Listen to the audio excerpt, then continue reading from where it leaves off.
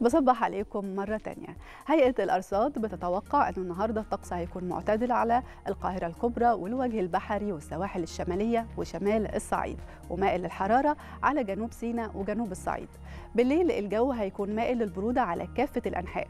وفي كمان فرص لأمطار خفيفة متوسطة على السواحل الغربية وشمال الوجه البحري وجنوب محافظة البحر الأحمر على حلايب وشلاتين بالتحديد.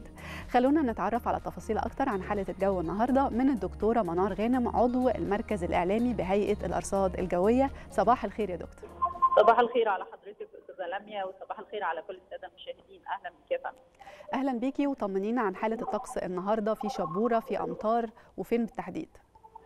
بالفعل اليوم بنشهد أجواء خريفية على أغلب مناطق الجمهورية، الاجواء دي بسبب امتداد منخفض جوي في طبقات الجو العليا هيعمل على تكاثر السحب المنخفضة والمتوسطة على شمال البلاد ويمكن تأثيره أكثر في المناطق الساحلية المطلة على البحر المتوسط، بالإضافة كمان كتل هوائية شمالية قادمة من جنوب أوروبا مرورا بالبحر المتوسط بتعمل على استمرار انخفاض درجات الحرارة فترات النهار والأجواء المعتدلة تماما خلال فترات النهار على أغلب المناطق الشمالية مائله للحرارة على جنوب البلاد خلال فترات النهار.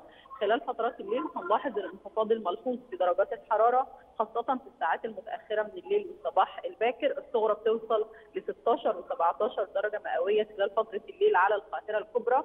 أجواء مائله للبرودة على كافة الأنحاء. بالإضافة كمان اليوم هيكون في فرص لسقوط الأمطار. هتكون ما بين الخفيفة قد تكون متوسطة في بعض المناطق من المحافظات المطله على البحر المتوسط مرورا طبعا بمطروح الإسكندرية شمال الوجه البحري زي البحيرة كفر الشيخ الدقهلية دمياط بورسعيد رفح العريش. المناطق دي كلها معرضة لسقوط الأمطار. هتختلف كمياتها من منطقة لمنطقة لكن مجملها أمطار خفيفة متوسطة في بعض المناطق. أيضا الأمطار هتمتد لبعض المناطق من جنوب محافظة البحر الأحمر زي مرسى علم راس بناس حلايب شلاتين. المناطق دي أيضا معرضة لسقوط الأمطار. بالإضافة كمان إن إحنا إن شاء الله غدا متوقع إن فرص الأمطار هتبدأ تتلاشى وتنحصر فقط في سواحلنا الشمالية يمكن كمان تبقى فرصتها قليلة جدا. ومع يوم الجمعة هيكون في استقرار في الأحوال الجوية ارتفاع طفيف في درجات الحرارة بحوالي درجة لدرجتين العظمى هتوصل ل 25 درجة مئوية على القاهرة الكبرى خلال الأيام القادمة وطبعا نتيجة الاستقرار في الأحوال الجوية هتكون الظاهرة الجوية المؤثرة بشكل كبير هي الشبورة المائية اللي هتؤدي لانخفاض في الرؤية الأفقية إن شاء الله ده هيكون إن شاء الله من الخميس والجمعة. طيب الشبورة المائية دي هتكون يعني كثيفة أكتر في أي مناطق بالظبط عشان الناس تعرف؟ هي طبعا الشبورة المائية بتكون مع تكونها الأول في الساعات المتأخرة من الليل وبتستمر حتى سطوع أشعة الشمس بتؤدي لانخفاض كبير في الرؤية الأفقية على اغلب الطرق الزراعية والسريعة والقريبة من المسطحات المائية المؤدية من والى القاهرة الكبرى مدن القناة ومحافظات شمال الصعيد وأيضا المناطق الموجودة في سواحلنا الشمالية. بشكرك في النهاية شكرا جزيلا دكتورة منار غانم عضو المركز الإعلامي بهيئة الأرصاد الجوية. مشاهدينا تعالوا دلوقتي نتابع درجات الحرارة المتوقعة النهارده.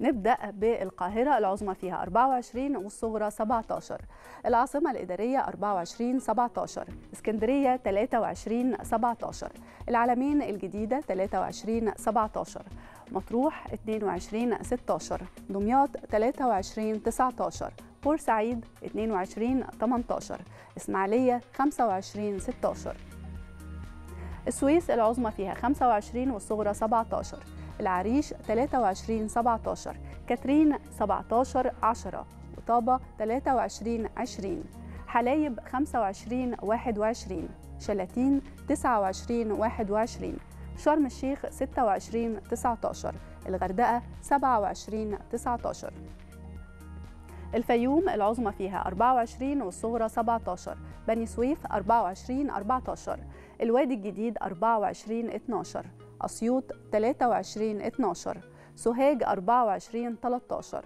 قنا 25 16 الأقصر 24 17 وأسوان العظمى 27 والصغرى 17 وبكده نرجع مرة تانية بعد ما عرفنا حالة الطقس النهاردة ودرجات الحرارة نرجع لأحمد ومنى نتابع معاهم باقي فقرات صباح الخير يا مصر. شكرا لك لمي